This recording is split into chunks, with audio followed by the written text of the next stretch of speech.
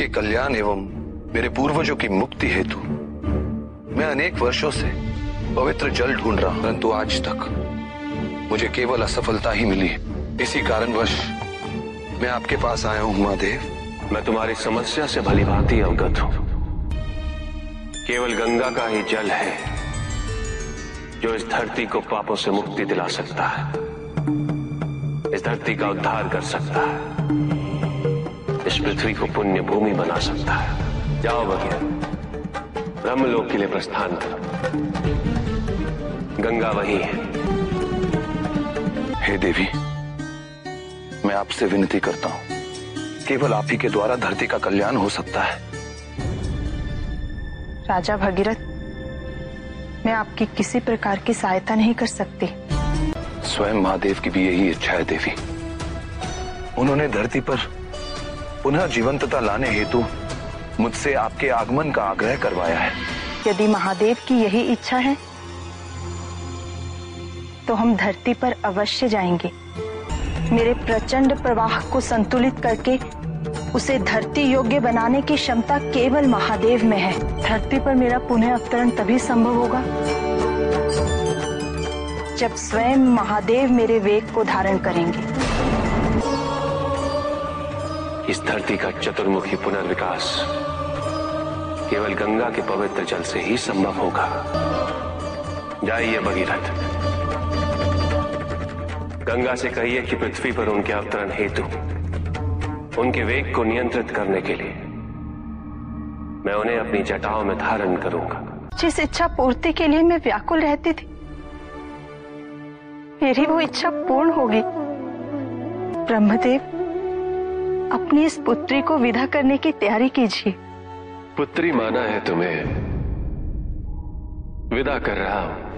किंतु तुम्हें यह वरदान देता हूँ कि तुम ब्रह्म लोक में ब्रह्म गंगा के रूप में सदैव स्थापित रहोगे।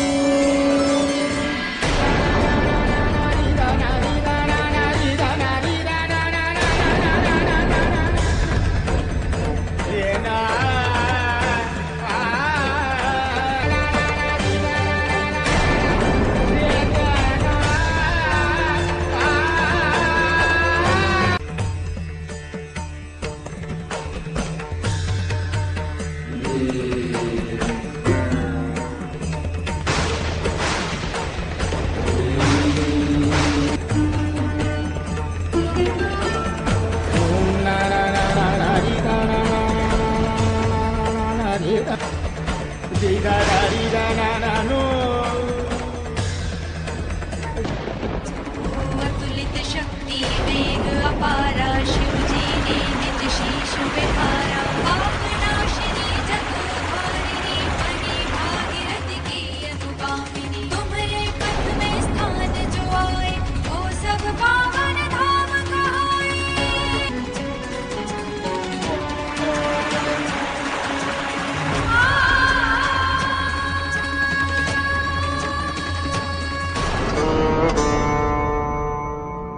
मेरे द्वारा तुम्हें अपने केश में धारण करने का कारण। तुम्हारा जनहित अभियान भी है। आने वाले युगों में गंगा के पवित्र जल से ही तर्पण किया जाएगा। भौतिक सुख की लालसा में मनुष्य द्वारा किए जाने वाले दुष्कर्म और पृथ्वी पर दुष्प्रभावों को तुम अपनी पवित्रता से शुद्ध करती रहोगे। तुम्हारी शुद्धता, आचरण और पवित्रता सदैव बनी रहेगी। इस पृथ्वी पर गंगा की पवित्रता और निरंतरता शिव के आदि स्वरूप में विलय हो चुकी आज आपके वरदान से समस्त संसार को मेरे अथक प्रयास का फल मिलने वाला है। धरती और धरती वासियों की ओर से नमन करता हूँ। आने वाले समय में गंगा का एक नाम भगीरथी भी होगा।